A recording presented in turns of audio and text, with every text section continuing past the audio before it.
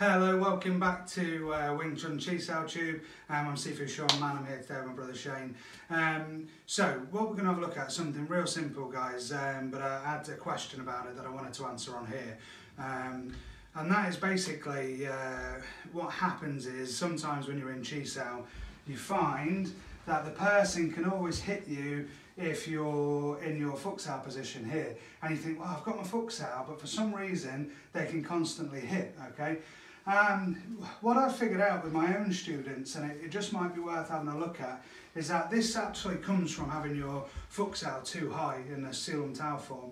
If you're always training for your Sao to be up here, almost in like a Ding position, then of course it's going to be really easy for that person to just go through to the centre. Even if I push my elbow on, you know, unless I'm really turned into it, I'm not going to stop this from happening. My Sao is just too high.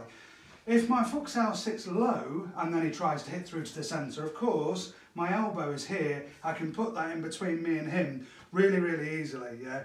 So if you're chi sawing and you find that whatever happens, you're always getting hit underneath easy, have a look at your Sao position try to alter it, yeah? So just keep it so it comes down just that little bit lower. And so if that person is trying to do anything, he's just not able just to get straight through and attack your centre.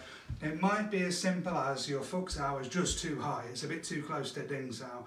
Um, so check it. Make sure your Fuk Sau is low, hand just above the elbow in your Siu Lim Tao, but also in your Chi Sau practice, yeah, make sure its, its mentality is to stay low to cover that arm position from the outside. It should be here. If it's here, yeah, you're to get hit, guys, okay? So have a look at that, see if it helps, and thank you ever so much for your time today.